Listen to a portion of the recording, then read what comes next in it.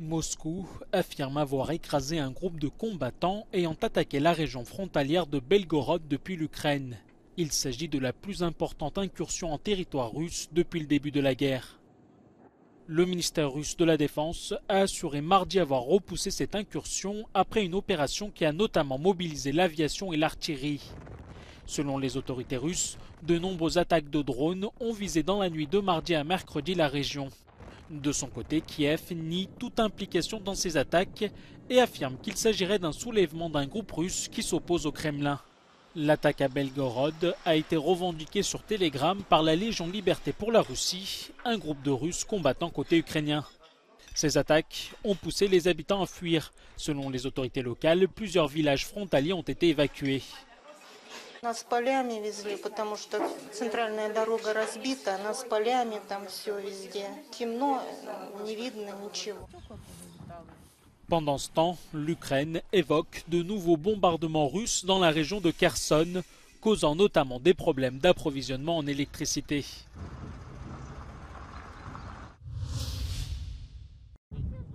L'organisation de la COP28 fait débat plus de 130 élus du Parlement européen et du Congrès américain appellent au retrait de la nomination d'un patron d'une compagnie pétrolière pour présider la prochaine COP28 à Dubaï. Ce mardi, dans une lettre commune adressée à l'ONU, à la Commission européenne et à la Maison-Blanche, les législateurs ont mis en garde contre l'influence exercée par les entreprises d'énergie fossile sur les négociations prévues à la COP28. D'après les élus, la nomination de Sultan Ahmed Al-Jaber, le PDG d'ADNOC, soit une des plus grandes compagnies pétrolières et gazières du monde, risque de porter atteinte aux négociations. La nomination du ministre émirati avait déjà été vivement critiquée en janvier par une centaine d'ONG. Les dirigeants européens et américains ont jusqu'à présent soutenu la présidence d'Ahmed Al-Jaber. Un porte-parole de la COP28 a défendu cette décision ce mardi en affirmant que l'expérience en tant qu'ingénieur et dirigeant industriel d'Ahmed Al-Jaber serait un atout pour la COP28. En avril, le ministre émirati avait également assuré que les Émirats arabes unis travaillaient à leur transition énergétique depuis plus de 20 ans. En 2022, plus de 100 millions de personnes dans le monde ont été chassées de chez elles à cause de violences et de persécutions. Et près de 17 000 d'entre elles ont été tuées dans une douzaine de conflits armés. Une hausse de plus de 50% par rapport à l'année précédente. Le secrétaire général de l'ONU, Antonio Guterres, a dénoncé ce mardi l'échec de la communauté internationale à protéger les civils piégés dans les affrontements il a également appelé tous les pays membres à faire pression sur les parties belligérantes et les pousser à respecter les règles de la guerre imposées par le droit international. Luxembourg, Malaisie.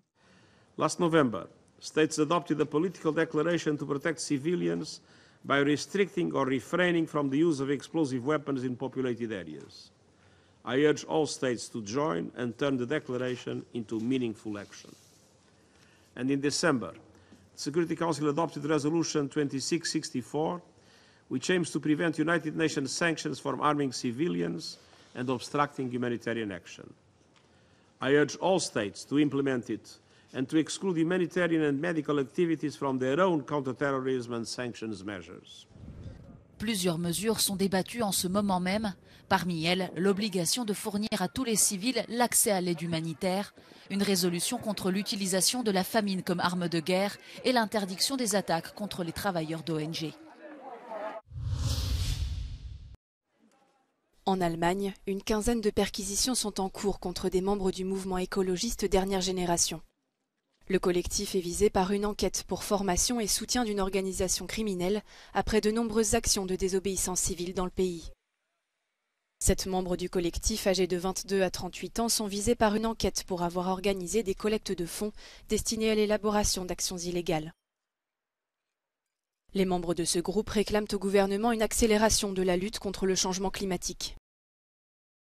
Sur Twitter, Dernière Génération a réclamé au gouvernement d'enquêter plutôt sur les structures de lobby et les financements des énergies fossiles.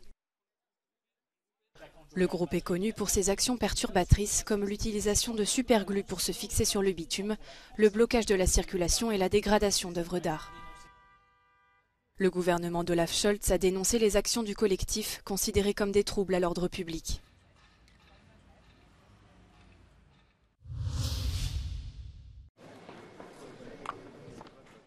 L'islamologue suisse Tariq Ramadan a été acquitté de l'accusation de viol et contrainte sexuelle par un tribunal genevois.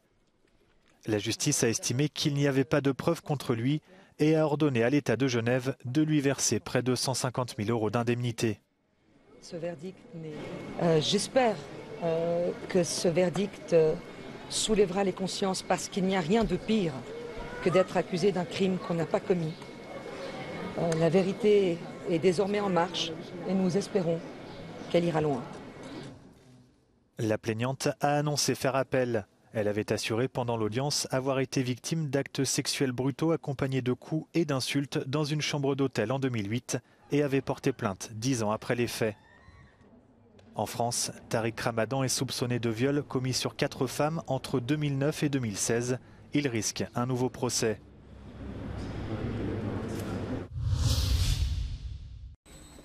Claudio est agriculteur depuis plus de 40 ans dans la région italienne d'Émilie-Romagne. Ces 600 hectares lui rapportaient environ 2 millions d'euros par an. Après les inondations, il a presque tout perdu. Nous l'avons rencontré dans son bureau alors qu'il évaluait les dégâts. En plus de devoir payer pour ce qu'il a perdu, il devra investir pour redémarrer l'entreprise. Sono circa 800 000 euro di, mancato, mancate entrate, mancato raccolto di quest'anno. E poi bisogna calcolare tutti i vari danni che avremo nei prossimi anni per riuscire a arrivare nuovamente a raccogliere. Malgré les aides promises par le gouvernement, il craint de ne pas avoir assez d'argent dans un avenir proche pour payer ses charges. Dove, come faccio? Pagare gli operai, pagare i fornitori, pagare è impossibile. Quindi da qualche parte dovranno arrivare se, se vogliamo provare a stare in piedi, ma al momento non ho idea come e dove. Direction ces parcelles pour voir les dégâts causés par les fortes pluies. La plupart de ces plantations sont sous l'eau et il n'y a pas grand chose à faire pour sauver les cultures. Più o meno ci sono due metri e mezzo di acqua sopra, avevamo 20 ettari di pomodoro, 10 di mais, insomma altre culture, e la, è tutto perso. Et les dégâts les plus graves sont dans les vignobles. Qui ci vogliono tre anni per arrivare alla produzione. Quindi.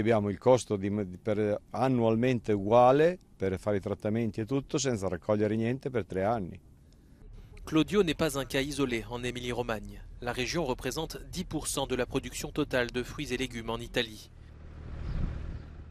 Mais il faudra plusieurs jours pour que le niveau de l'eau baisse et plusieurs années pour que l'activité reprenne dans des conditions normales si ces exploitations survivent d'ici là.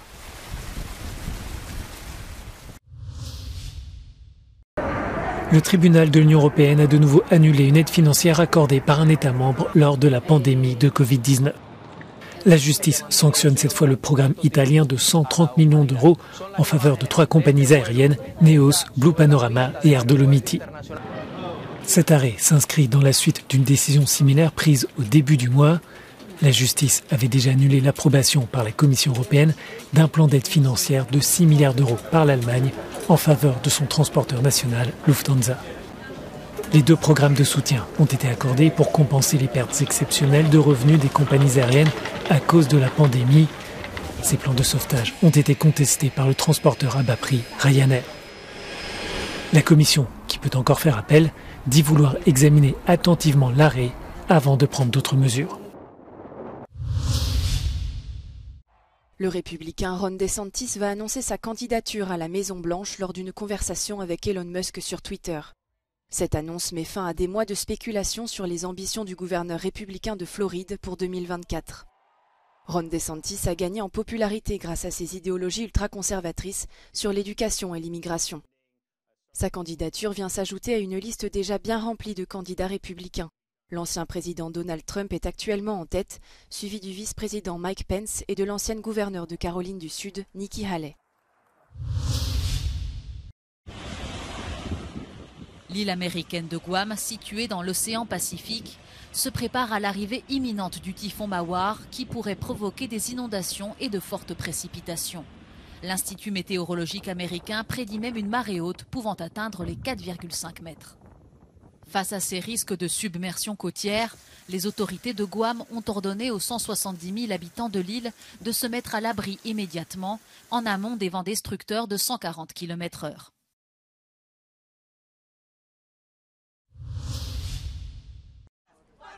L'affaire Vinicius Junior va bien au-delà du football et des frontières européennes. La Liga est raciste. Vinicius Junior, nous sommes avec toi. On scandait mardi des groupes brésiliens de défense des droits de l'homme devant le consulat d'Espagne à Sao Paulo. tem extremamente traços de, de uma extrema-direita neofascista, é, que é contra a política de imigrantes. Então, o que ela liga expressa é o que a população negra vive naquele país. Né? Então, o Vini é muito corajoso de denunciar a violência racial. Le jeune attaquant du Real Madrid a été victime d'insultes racistes des supporters de Valence lors du match comptant pour la 35e journée de Liga. Ces attaques, dénoncées par le joueur et son club, ont poussé le parquet espagnol à ouvrir une enquête pour délit raciste. Mais à travers cet épisode tragique, c'est beaucoup de Noirs qui s'identifient à la jeune star brésilienne. Obviamente nunca he en un estadio de fútbol donde miles de personas están gritando mono, pero sí, incluso en el día a día, en lo cotidiano, con cosas no tan agresivas como esa, yo he llegado a sentirme eh, una mierda. Entonces yo sé lo que es. La fédération espagnole a annoncé mardi soir qu'une tribune du stade de Valence sera fermée pour cinq matchs et une sanction financière. De nombreux commentateurs et médias espagnols appellent à une action plus ferme pour combattre le racisme dans les stades.